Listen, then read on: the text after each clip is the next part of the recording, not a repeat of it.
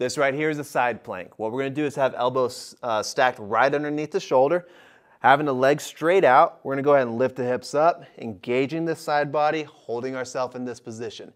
If this is too complicated, bend the knee, and then come back up into that position, holding it for the desired time.